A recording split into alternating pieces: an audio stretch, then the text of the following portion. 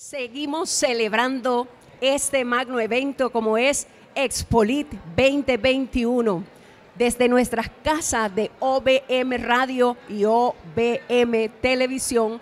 Presentamos en esta ocasión a nuestra amada Jessica Dugan de el país donde es esta servidora? Colombia. Colombia y no cualquiera, Barranquilla. Barranquilla, barranquillera. Somos paisanas, acabamos de darnos cuenta de eso. Cuando la gente me pregunta de dónde eres, como llevo tantos años en Miami, me pregunta que si soy boricua, que si soy dominicana, que si soy venezolana. Igual me pasa. Que si soy cubana, yo le digo, no, de Barranquilla, de donde es Shakira.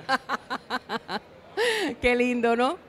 Gracias a Dios por este tiempo tan especial contigo y que has venido aquí a compartirnos tu libro, a la altura de tu propósito. Y te preguntaba, ¿cómo es esto de a la altura de tu propósito? Cuéntanos un poquito, nárranos este libro que me imagino que nació en un tiempo cuando tú dijiste, es ahora. Es ahora, nace en medio de la pandemia el 2020 para nosotros fue un año de sueños cumplidos, a pesar de que fue un año difícil para muchos de nosotros porque eh, perdimos algunos seres queridos y, muchas crisis, ah, digamos, de lo que la gente ha vivido durante toda esta pandemia. También fue un año bueno porque nace un libro como este, a la altura de tu propósito. Alcanzamos muchos sueños y ese era un sueño que estaba en, en, mi tablero de sueños.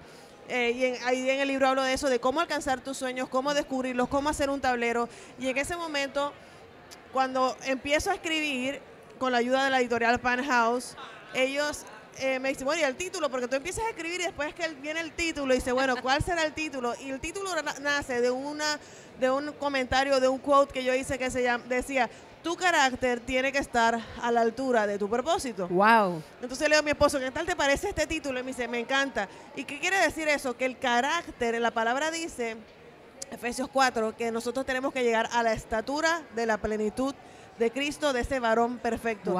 Dios quiere que nosotros maduremos, que nosotros seamos procesados para que nuestro carácter esté a la altura de nuestro propósito y no dejemos ese propósito abortado a mitad de camino. Porque por falta de carácter podemos de pronto rendirnos por impacientes, por temerosos, por holgazanes. dejamos el, el propósito a mitad de camino y decimos, ¿sabes qué? no lo voy a hacer. No lo voy y nos falta el carácter para amarrarnos los pantalones y decir, hay que hacerlo. Y el carácter va junto con la valentía. Totalmente. Totalmente, ¿no? Me encantó tu carátula. Gracias. Te ves así como que, ¿me entiendes? Voy a alcanzarlo todo. Así es. Porque tengo al poderoso gigante que va conmigo. Así, esta es tu expresión. De gozo, de alegría, de, plenitud.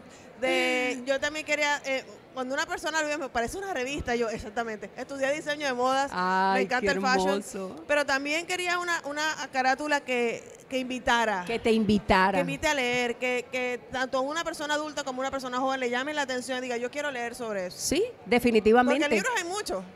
Definitivamente, y invita. Invita como que, déjame ver a esta fashion, que es lo que está mostrando aquí.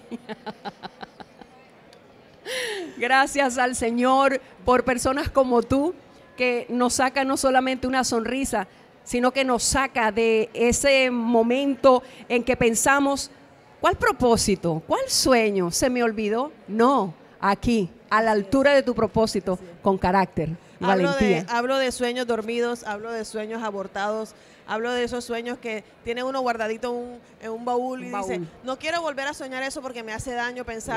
Un hijo que quieres tener y no has podido, tal vez estás esperando casarte o tal vez estás esperando viajar o estás, tal vez estás esperando y dice, Dios me prometió que yo iría a las naciones y cuándo va a pasar eso. Entonces uno de tanto esperar ese sueño, como dice la palabra, se enferma el corazón. Hablo de eso, hablo del cuarto de espera, hablo de, de atreverte a soñar, hablo de no te rindas, de no tires la toalla.